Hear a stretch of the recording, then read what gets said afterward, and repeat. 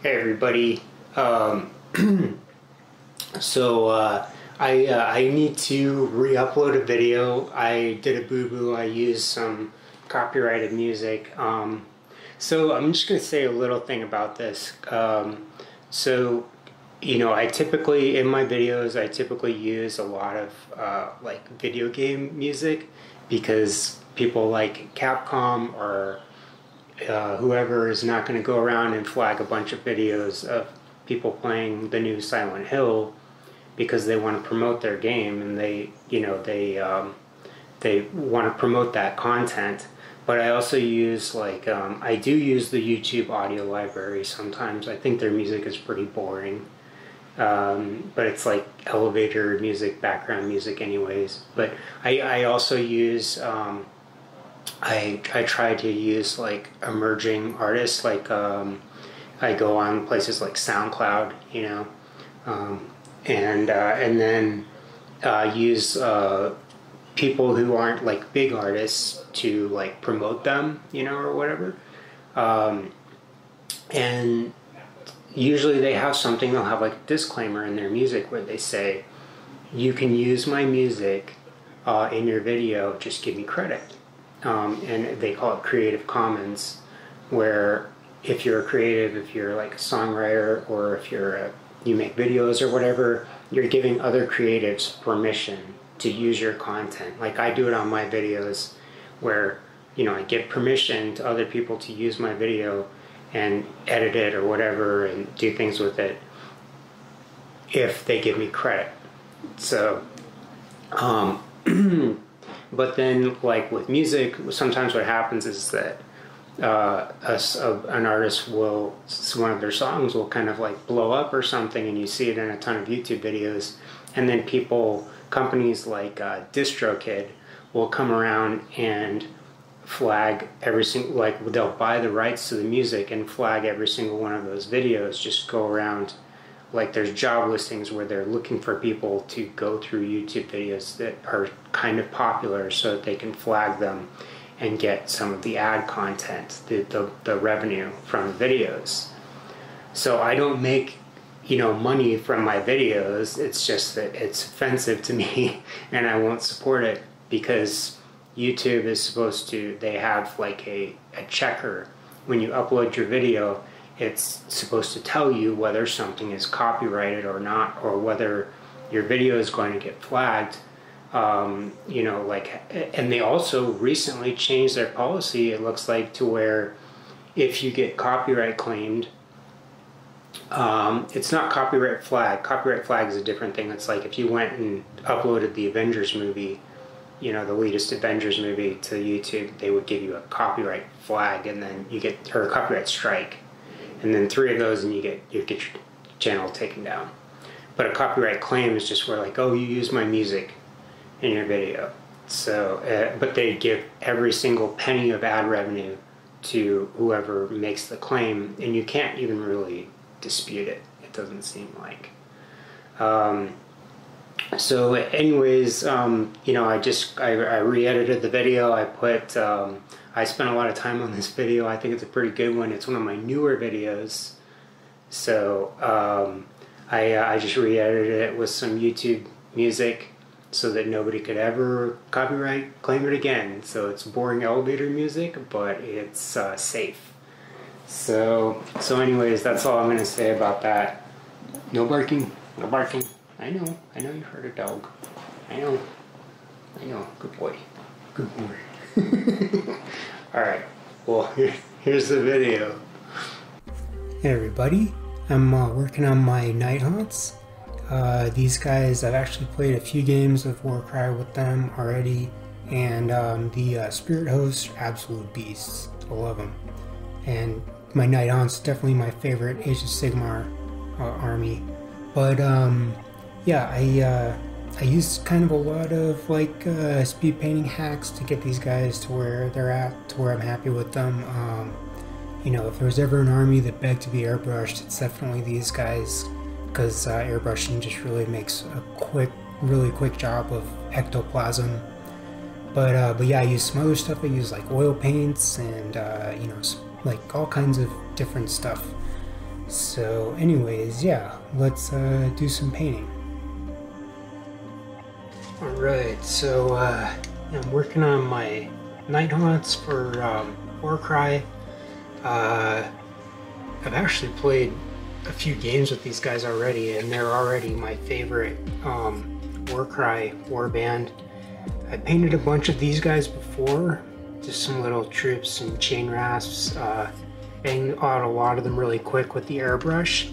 And you know, it's pretty close to the card art, so I think I'm just gonna stick with that. I mean, I like how it looks, so uh, I'm gonna start with some, I'm gonna give them some ghostly blue kind of flesh tones.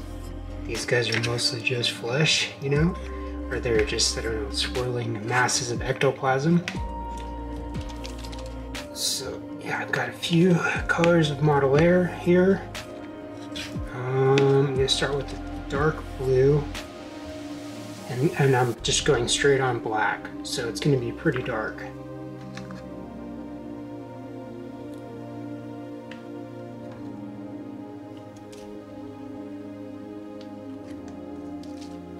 airbrush thinner.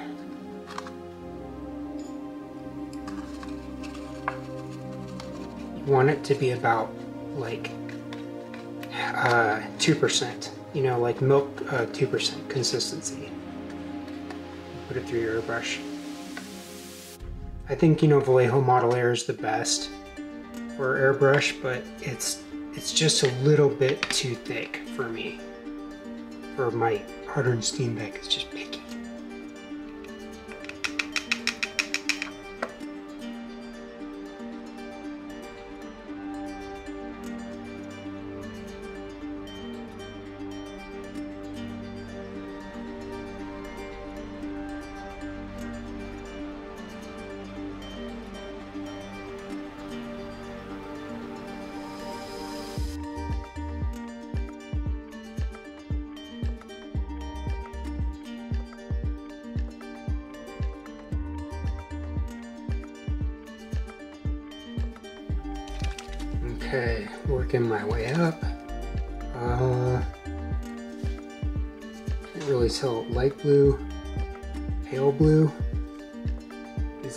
Same color. um, I'm gonna go with pale blue.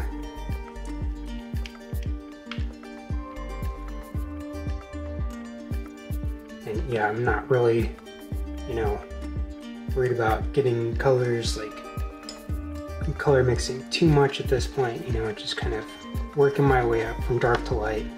Get my shadows in there, and I want my shadows to be ghostly, you know, like I don't want anything to be black on these guys. Like even, you know, under them in the deeper set shadows, I want that to be like a blue because they're supposed to be kind of see-through, you know? They don't really have any mass that blocks out the sun.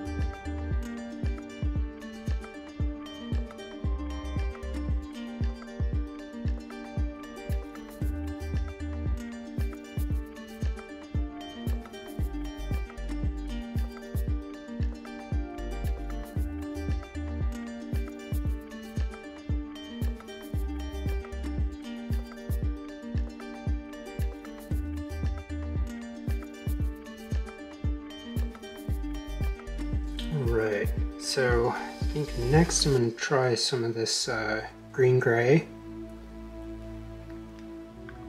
This is like a this is like a, a verdigris color. This is model color, you know. It's a little bit thicker than model air. So definitely gonna have to thin it down. I just dumped the uh, the other color and then some quick change, you know, um, thinner in here. that's definitely getting lighter. A little more of this.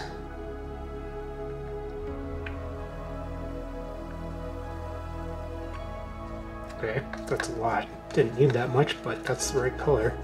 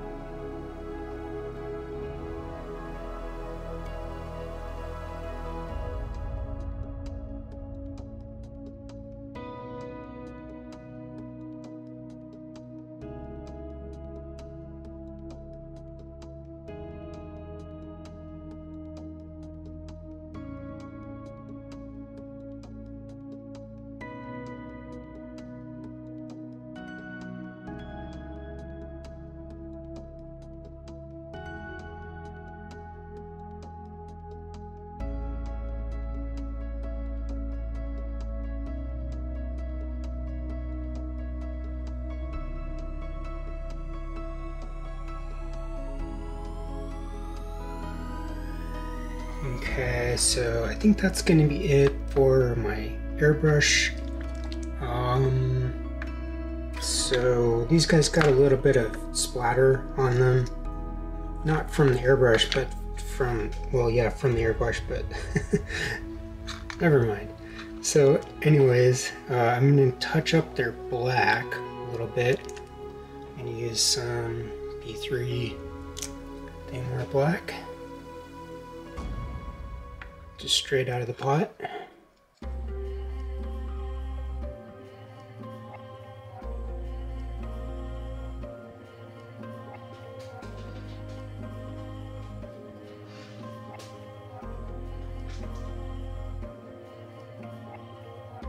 And you know, like this part, the transition where it's changing to blue, uh, for now, I actually want my darkest darks to be up here on the um, like highest highlights, if that makes sense. Because I want I want this to be nice and dark, and then I'm going to come in and sort of re-highlight later. I'm going to do some edge highlighting with another color, just to make give it that ghostly glow on you know black that the Nighthaunts are kind of known for.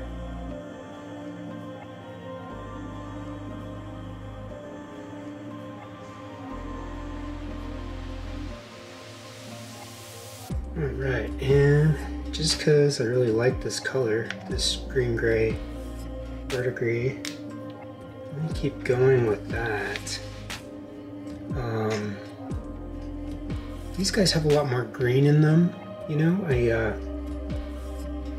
I mean, it's, they don't need to be the same, but, uh, kind of like this color a little better. Yeah.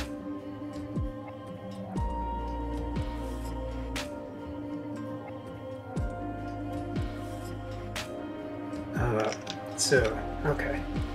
Actually, I'll use a bigger makeup brush. Um, so I'm just gonna kind of go around, dry brush a little bit, get these little wispies but you know, mostly just on their, uh,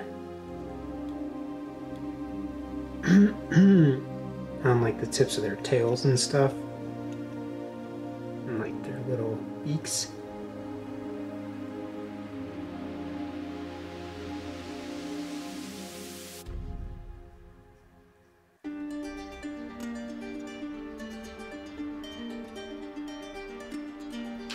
And uh, I'm going to switch to a larger makeup brush to get these guys.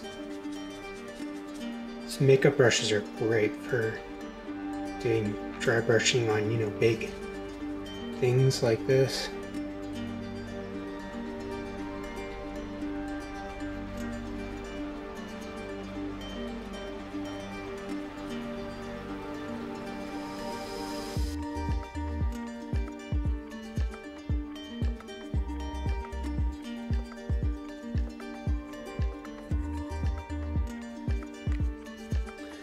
I'm really digging this kind of uh, OSL kind of look where object surface lighting, where the um, the ghosts sort of make it look like everything is glowing around them, you know? And I don't really want to lose that. I'm trying to decide, like, if the skeleton, if I want to do something else with the skeleton, or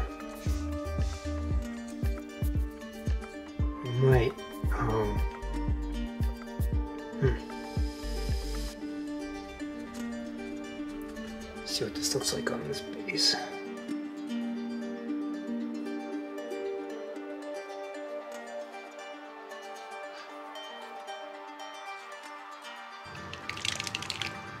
Still haven't made up my mind about what to do with these guys. I think, okay, well I am gonna get some, I'm gonna use some of this Eldritch Green and then just do a little bit of that on the backs of uh, these guys. That's how, how I did these ones and I like it.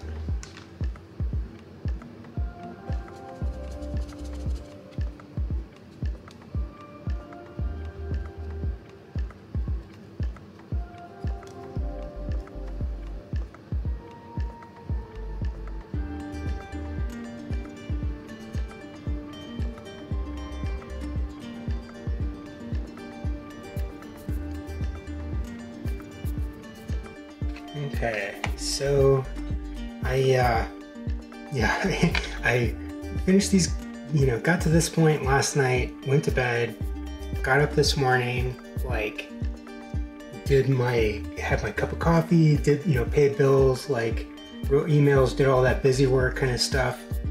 And the whole time I was kind of thinking about what I wanted to do with these guys next. Um, so I have some ideas. Um, so I really dig the the OSL kind of lighting effect, where this light is sort of coming off these, you know, these ghosts and then lighting up their bases. But I don't want them to the bases to look blue. So I think what I want to try first is I want to try just putting some pigments down. Um, and you know like this might be just it this might this might just be the last thing that i do to these guys but there's a couple other things i was thinking about doing too but so what i want to do is i'm going to start at the edge and then kind of work my way in so that it looks like um, that light is sort of casting down on the like around this dirt you know, and then sort of lighting it up. Um, because if I can, if I can keep the um, keep the the ghost as like a, you know, a light source, and then put a ghostly glow on everything, and not really. Uh, so I have, um, I I have other, you know, I have like a brown pigment that I'm going to put down on the ground. And these are just pan pastels. It's just, it's pigments, you know, they're just in a pan, sort of like makeup, kind of.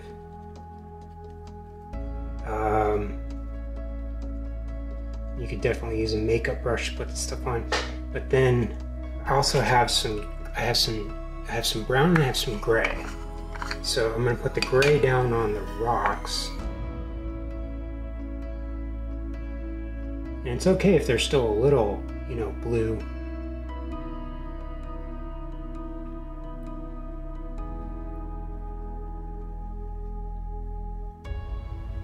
And like I can put it down on these gravestones and stuff.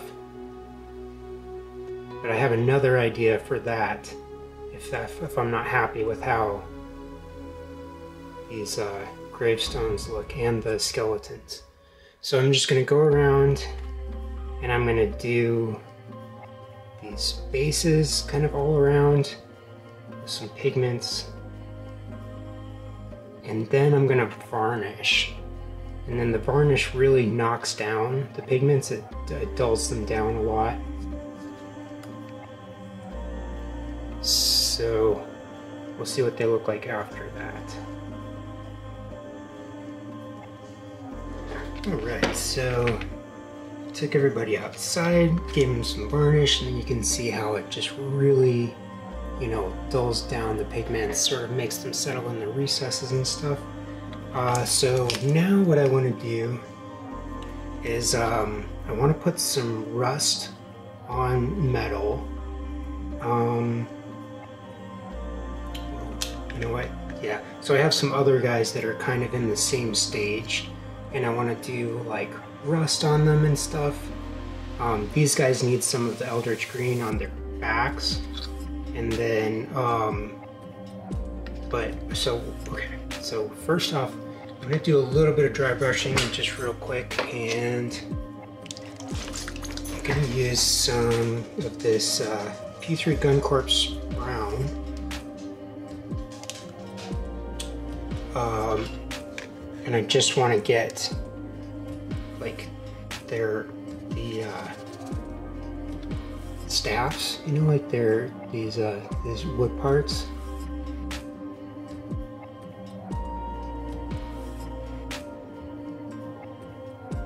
Before I start doing some oil painting stuff.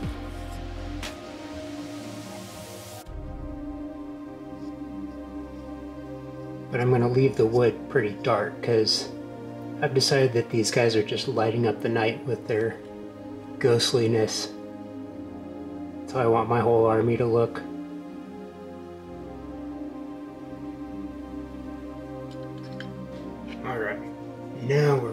Some oil painting.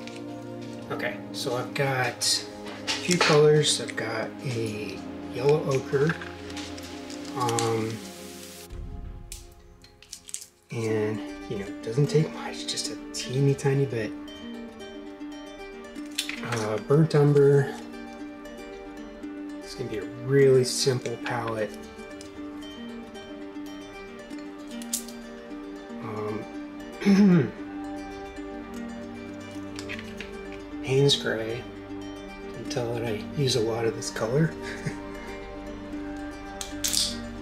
oh no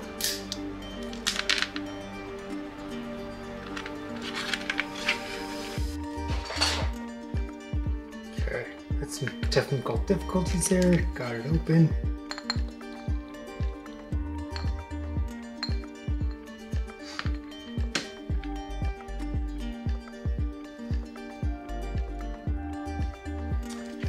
Last but not least, uh, Phthalo Green. Blue shade.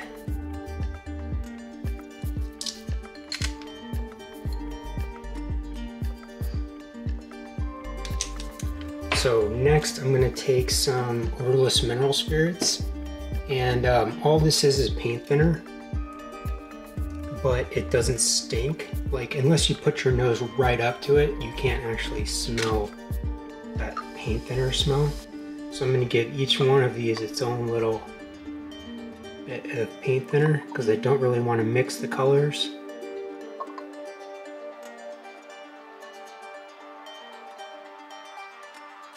And then a little bit in the middle just in case. And I'm gonna make those really thin. Got these super thin uh, I'm gonna use a, a Taklon brush Taklon is just it's um, synthetic it's fishing line um, but it's uh, it's good for acrylic and oil paint they're pretty super durable so now I'm just gonna put this on all over. And I'm working in this direction. I'm gonna put the, the phthalo green on first. Um, and then, so I'm just kind of slopping it on. I need to actually need a bigger brush. Um, but the, the oil paints, um, you know, like this super, super thin layer is gonna take um, hours to dry, you know? So I can just kind of slop it on everywhere. And then if I want to later, I can uh, dab, dab it off like off of the tops of things with a paper towel or like a q-tip or something like that. if I want to keep my highlights. But then if I just put it on, you know, I can, it, it's a great way to use, it's a great thing to use as like a shader. To just put um, shade everywhere. A really, really thin oil wash. Because I do want to put some of that green back into these guys. Like these guys have the green in them, but I want that. I want some of this, you know, some of this green back in here.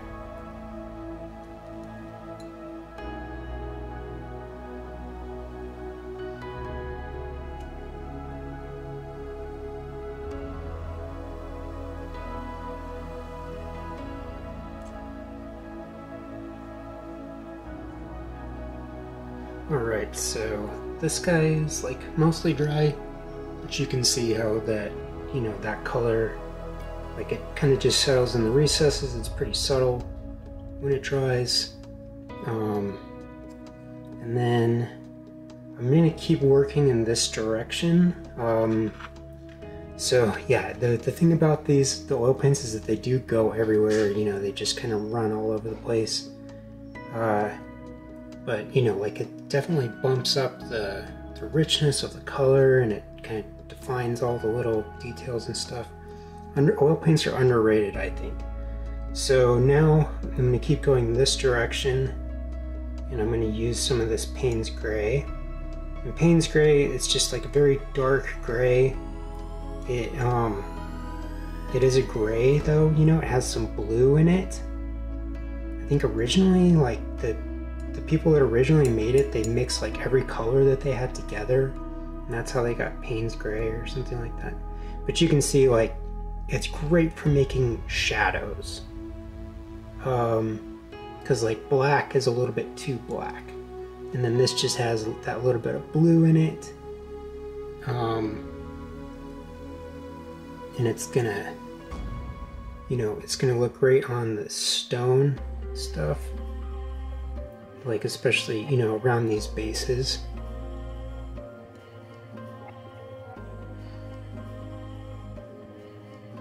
So I'm just gonna slop it on.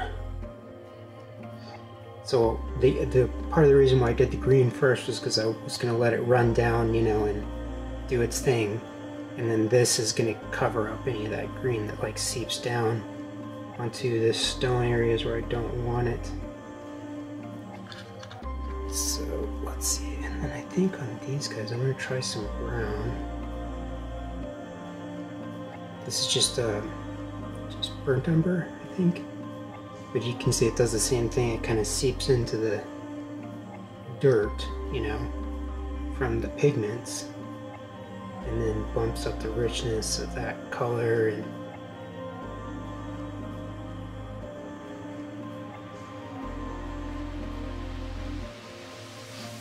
I want to keep some of the glow, but then I want to make it, you know, nice and dark and like around the edges and stuff, like around my rocks and stuff. Tombstones. Get some of this Payne's Gray into these tombstones.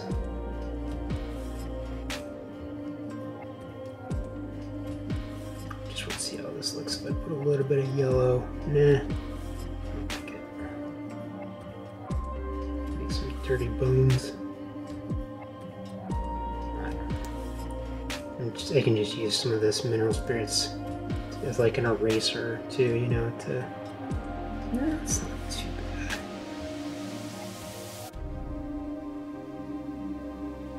Just want to kind of tint these bones a different color and make them a little like dirty bone looking instead of pristine white buried in the ground, looking bones.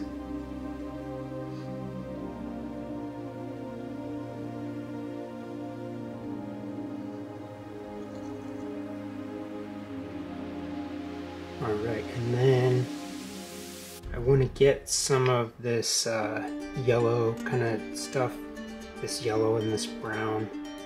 It's a little too watery. I'm to make some rust, you know, on these uh, some iron rust on these like great things.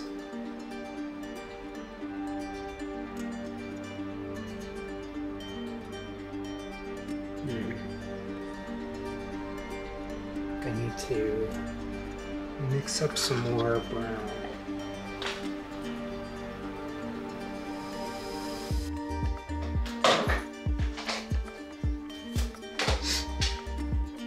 So I just want a little bit, oh jeez.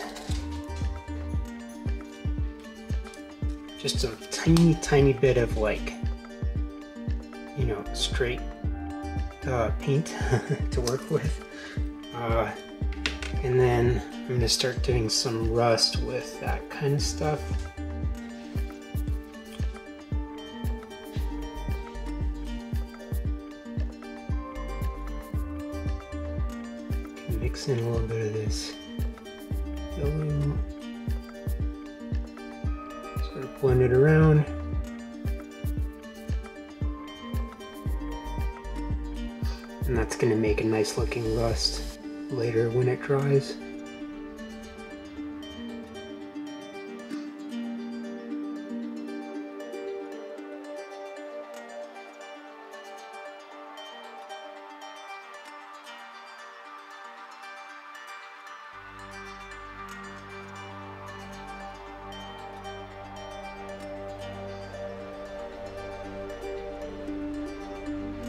Alright, so everybody's, you know, pretty dry. Um, I just left them for a few hours. Uh, I suspect that this might still be a little bit wet. Uh,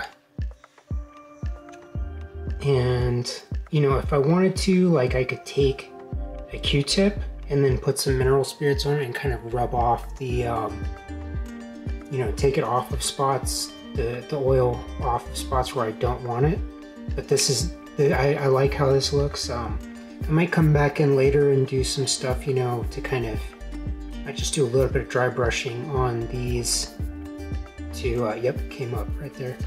I do just a tiny bit of dry brushing on these to get them to look more like rusted steel instead of just a big hunk of rusted iron. Um, but yeah, everybody got the same treatment. Um, you know, all the Nighthaunts. Um, so, one last thing that I want to do is I want to put some static grass tufts on them like these guys. So, uh, uh just on these. Mm, yeah. Alright, so I, uh, I like to use, um, some clear Elmer's for this because it just dries um, completely non-gloss and um, clear and also um, if you use super glue you can actually it can kind of like melt plastic you know? Like it, it heats up sometimes sometimes. So I'm just gonna dip a brush in and then put in some little spots kind of where I want some grass and then just let it kind of hang out in some areas like if there's any boo-boos any spots where I want to uh, cover up.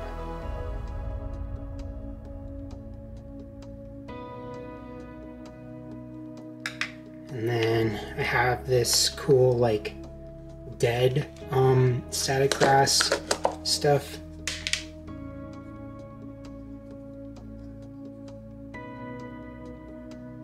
Yeah, it just looks like a dead grass, but definitely looks appropriate for being around a, a Nighthaunt graveyard.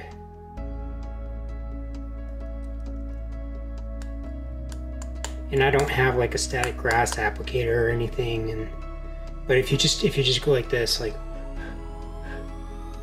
just blow on it a little bit, you can kind of get it to stand up just by doing that. Like that as just a last little finishing touch and you know like less is more. Don't need a lot. So now I'm gonna uh, varnish everybody and call it good.